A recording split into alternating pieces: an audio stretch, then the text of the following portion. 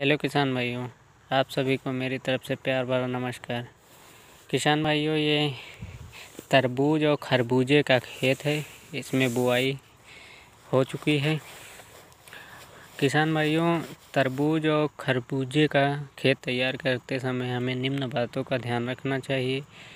जैसे, हमें खेत बनाते समय जुताई करनी चाहिए और जुताई रोटावेटर से करें जिससे हमारी मिट्टी महीन हो जाए।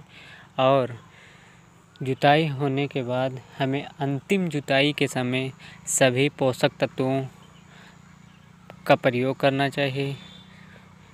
डीएपी अन्य सभी पोषक तत्वों का प्रयोग करके हमें खेत अच्छी तरीके से तैयार कर लेना चाहिए।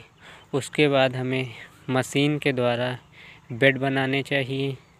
बेड बनाने के बाद हमें पन्नी का लेयर बिछाना चाहिए।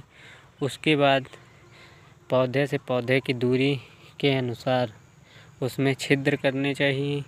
छिद्र करने के बाद हमें सबसे अच्छी क्वालिटी का तरबूज व खरबूजा का विसार लेना चाहिए, जो कृषि अनुसंधान या कृषि वैज्ञानिक के सलाह से ही लें।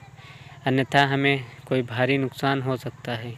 इन सबसे बचें और बेहतर क्वालिटी का बीज लें, जिससे आपकी फ़सल काफ़ी स्वस्थ